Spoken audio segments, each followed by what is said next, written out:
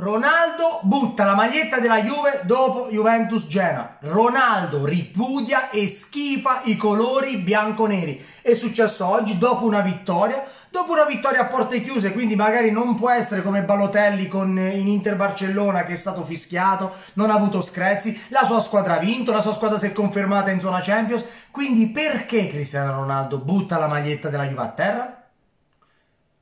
Due grandi spiegazioni. Uno, che lui della Juve se ne sbatte i maroni, perché lui voleva semplicemente segnare in questa partita. Lui gioca per se stesso. Lui è venuto alla Juve per ego, perché era la squadra più vincente in Italia e pensava che con, doveva arrivare al terzo grande campionato d'Europa. Si era fatto l'Inghilterra dove aveva vinto tutto, si era fatto la Spagna dove aveva vinto tutto, per ego, per dimostrarsi superiore a Messi voleva dimostrare che in Italia avrebbe vinto e ha scelto la squadra più facile, la via più breve. Però, caro Cristiano Ronaldo, è vero che la Juve ha 9.000 scudetti, quindi sarebbe stato più facile vincere in Italia. Però siccome tu volevi primeggiare in Europa, dovevi anche studiarti la storia e capire che la Juve può scendere anche il Messia eh? da, dal paradiso, che la Champions League non la vincerà mai, ok? Mai! Quindi l'hanno, vinta una con un rigore 5 metri fuori aria, quindi zanzando.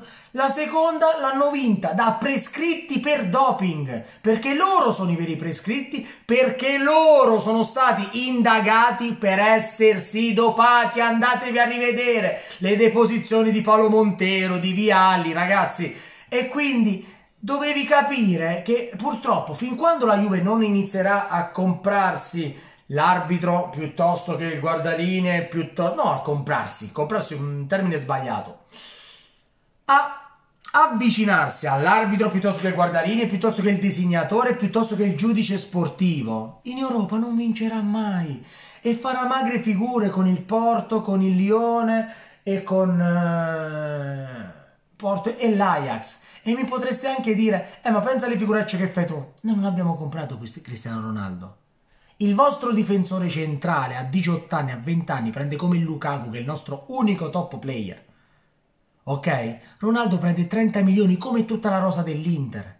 E vi ha distrutto una squadra. Vi ha distrutto una squadra. E oggi ha pisciato in testa a tutti voi, buttando la maglietta della Juve dopo una vittoria. Perché? Perché il bambino viziato non aveva segnato ok? Purtroppo la prima donna, la ballerina della situazione, ambeta della situazione, non aveva segnato.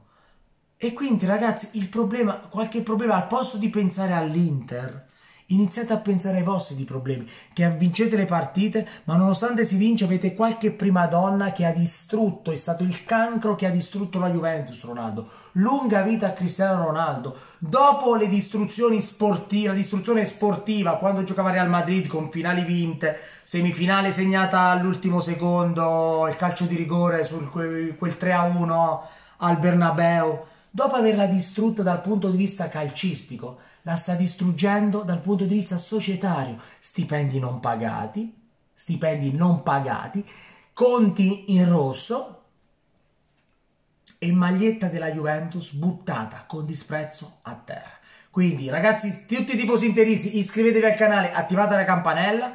L'Inter ha più 12 dalla Juventus, la Juve che vince col Genoa, ma si trova una, una bomba atomica chiamata Ronaldo in casa. E occhio che già ha creato i primi danni con la Juve che dopo tanti anni molto probabilmente non rivincerà un campionato. E pensare che lo si era comprato per portaci, portaci, portaci la Champions. Quindi già i primi danni li ha fatti. Ma occhio che la deflagrazione deve ancora arrivare. Iscrivetevi al canale, attivate la campanella. Avanti Inter, avanti Curva Nord. Per le magliette di Educazione Ambrosiana, sito Curva Nord Milano o pagina Instagram Educazione Ambrosiana. Ciao ragazzi, da Manuel e Bob è tutto.